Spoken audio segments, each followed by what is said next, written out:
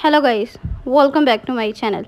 Today in this video i will show you how to fix facebook app not working on iphone after ios 17 first of all subscribe to my youtube channel and press the bell icon to get new tech videos.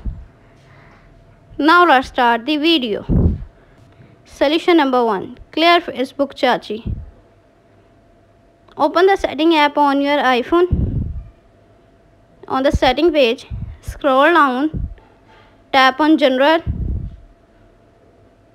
on the general page scroll down tap iphone storage on the iphone storage page scroll down tap facebook app on the facebook page tap delete facebook app. Solution number 2 update facebook app Open the App Store on your iPhone. On the App Store page, click on search bar. Search your Facebook app. Tap Facebook app. Update your Facebook app. Solution number 3. Check for soft update. Open the setting app on your iPhone. On the setting page, scroll down, tap on general. On the general page, tap software update. Software update is available. Tap download and install to upgrade the iOS.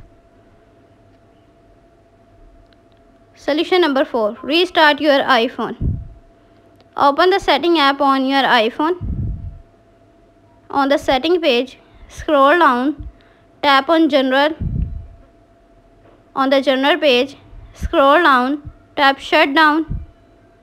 Now slider to power off and turn off your device. Then wait for few seconds and turn on back. Enter your phone passcode.